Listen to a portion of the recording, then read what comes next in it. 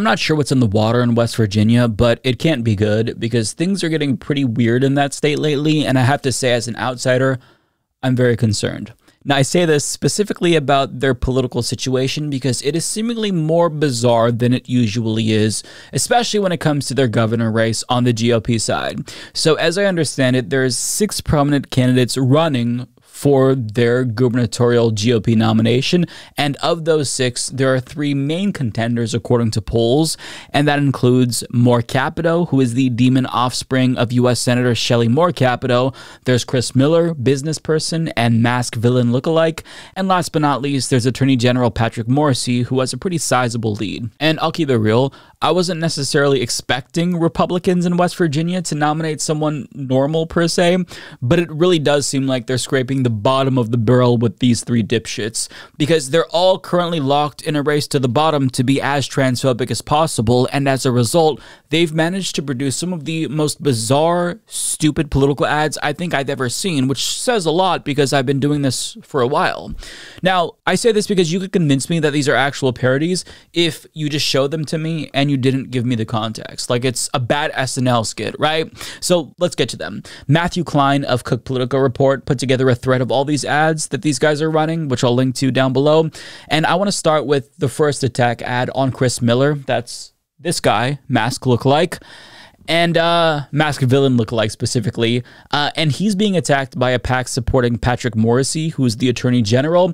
And before I show you this, I just want to reiterate this is real. This is not satire. But without further ado, let's watch. He, him, she, her.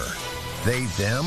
When Chris Miller was a board member at an in-state university, he looked the other way as pro-transgender events happened on his watch. Drag shows, a transgender homecoming gala, and even, quote, a trans closet that provided items to support sex changes for students. Chris Miller protected they, them, not us. Black Bear PAC is responsible for the content of this advertising. He protected they slash them, not us.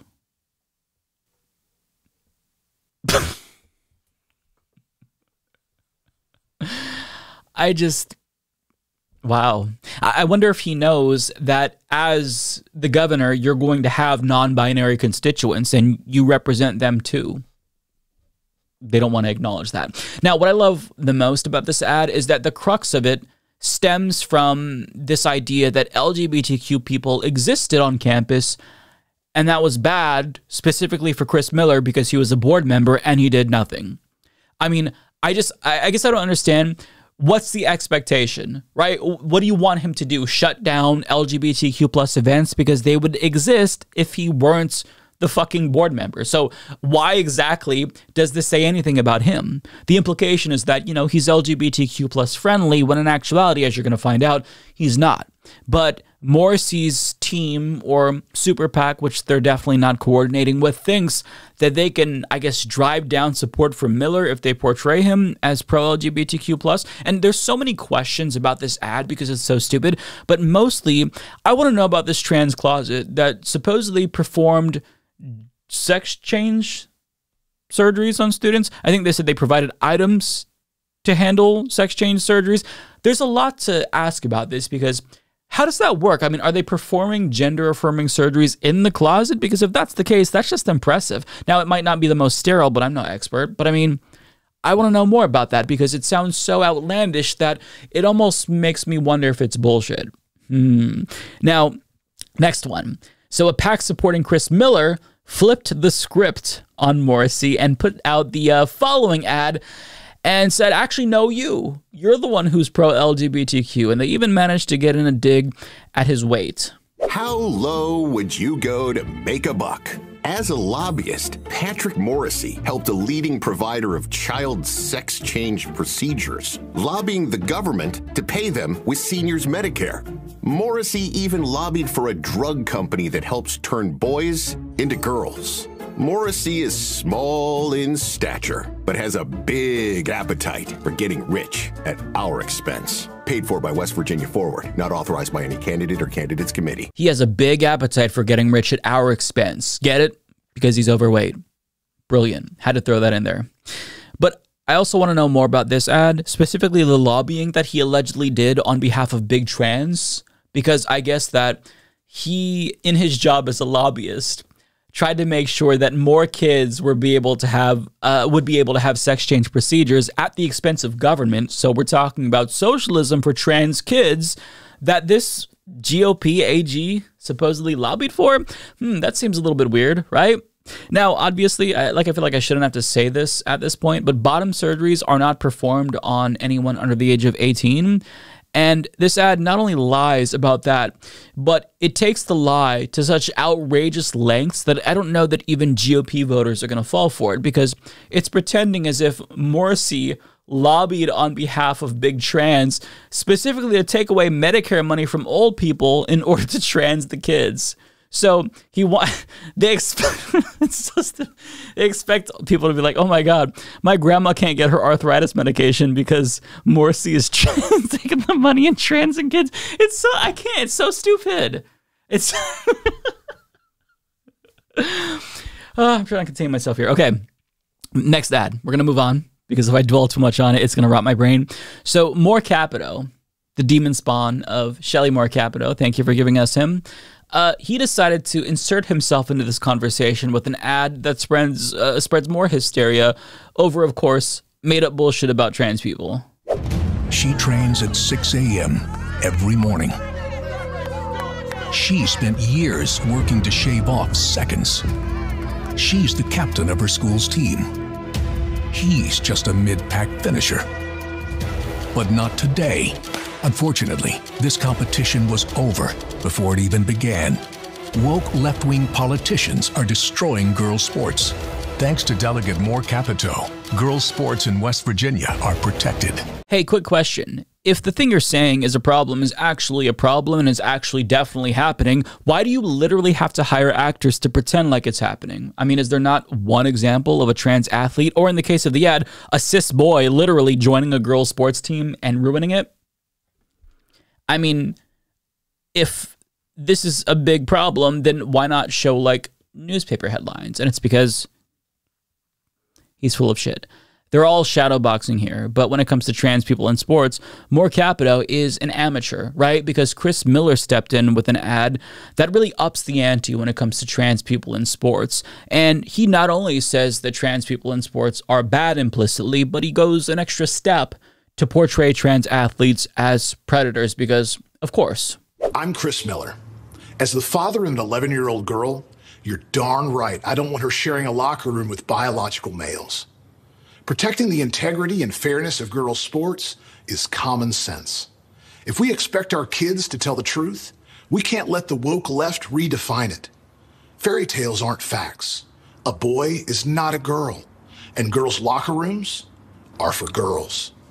I'm Chris Miller, and they'll stay that way when I'm governor. The closer the camera got to him, the more uncomfortable I felt watching that. I feel like he's someone who should probably stay away from locker rooms, even for contrived ads about made up problems.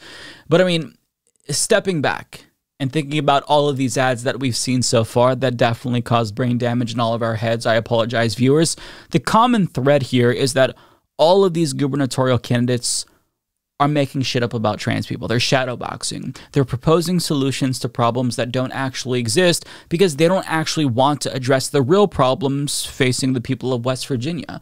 West Virginia ranks 47th in education, 47th in the economy, 48th in economic opportunity, 50th in infrastructure, and 50th in healthcare. And to make matters worse, one in five people in West Virginia are literally illiterate. It's more than one in five, it's 20.9%. And yet, these candidates, they don't have a coherent set of policies that they're running on to help the people of West Virginia. Chris Miller, for example, doesn't even have a policy page on his campaign website, and the only mention of policies includes vague references to transparency, protecting kids from trans people, because of course, and the Second Amendment. He also attacks Biden for inflation and fentanyl, but offers zero solutions. Now, when it comes to Moore Capito, he also doesn't have an issues page, but he does have two sentences dedicated to some of his priorities priorities, but of course, he has the most to say about the big bad trans boogeyman. Now, the only one who has an actual issues page is Morrisey, and it might not be very fleshed out but it's something. The fact that these candidates are turning their campaigns into a transphobic race to the bottom is an embarrassment. And it's not embarrassing for trans people, it's embarrassing for them. Trans people aren't the reason why people in West Virginia don't have health care or quality education or can't read. But yet, these self serving politicians are trying to create solutions to problems that don't exist because they don't actually care about the real problems that do exist, that do affect the people of West Virginia. And even if they did know about the problems affecting the people in their state, they wouldn't have the courage to take on their corporate donors who are bleeding their state dry. But I've made all of you suffer so much by listening to these dumbass ads. And now it's time for the good news because the bill that Moore Capito took credit for that banned trans athletes from school sports, guess what? That was blocked by the Fourth Circuit Court of Appeals on grounds that it violates the U.S. Constitution. Furthermore, 20 anti LGBTQ plus bills, most of which were anti trans, by the way, all died in West Virginia. Now, that's not to say that they're going to stop cooking up bigoted bullshit against trans people, but it's just nice to acknowledge that they've been taking a lot of L's lately. Now, last but not least, these kinds of bigoted campaigns, they might still be common in red states, but it's going to be a relic of the past very soon. And I say this because they just don't work. And not only that, as GLAAD explains, candidates who frequently discuss restrictions on transgender youth are creating more opposition than support for their campaigns. 53% of both registered and likely 2024 voters say they oppose a political candidate who speaks frequently about restricting access to healthcare and participation in sports for transgender youth. Also, voters overwhelmingly believe that decisions about healthcare and mental health services for transgender youth should be made by parents. 81% of likely 2024 voters, 83% of swing voters, and 73% of Trump voters agree. All categories overwhelmingly agree Republicans Republicans should stop focusing on restricting women's rights and banning medical care for transgender youth and instead focus on addressing inflation, job creation, and healthcare costs. 94% of LGBTQ voters, 76% of registered voters, 76% of likely 2024 voters, and 82% of swing voters agree. And on top of that, these kinds of campaigns also have a galvanizing effect among LGBTQ plus people. So queer people who typically aren't that interested in politics might actually feel motivated to come out and vote against these politicians who are campaigning against them, which isn't that surprising. So even though the ads that we've seen today from these GOP losers might make you feel depressed, as it did with me when I first saw them, keep in mind that these campaigns are a dying breed because they're just not effective. And the one thing that politicians care more about than their hatred of trans people is their own careers. Play stupid games, win stupid prizes. Play stupid games, win stupid prizes. Play stupid games, win stupid prizes. Play stupid games. F around and find out. Prizes. Play stupid games, win stupid prizes. Play stupid games, win stupid prizes. Play stupid games, win stupid prizes. Play stupid game, game, game, game, Pride. Trans rights are human rights. It is necessary to push trans on the kids. Pride.